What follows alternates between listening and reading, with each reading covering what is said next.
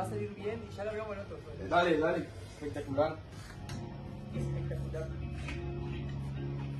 Va.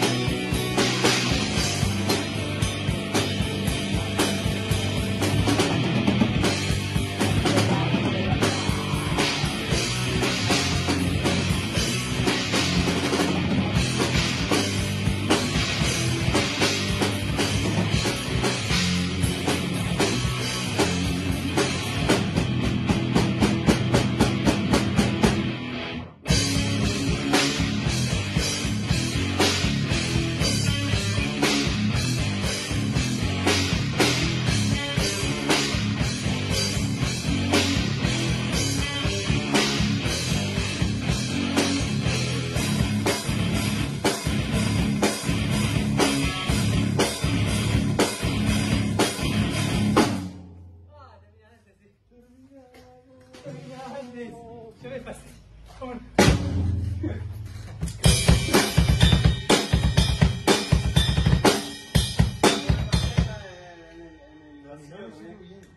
Terminamos y. Sí. Bastante bien. Vamos a escucharlo, Eren.